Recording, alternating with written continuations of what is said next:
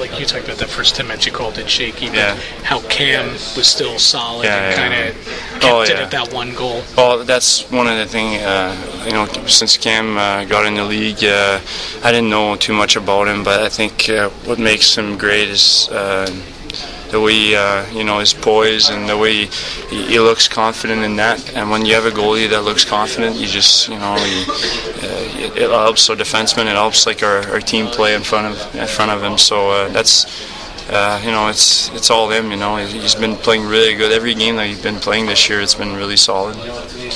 As important as this Thank game you. was for you guys, how important is it to carry this over and, and you know do, do it again?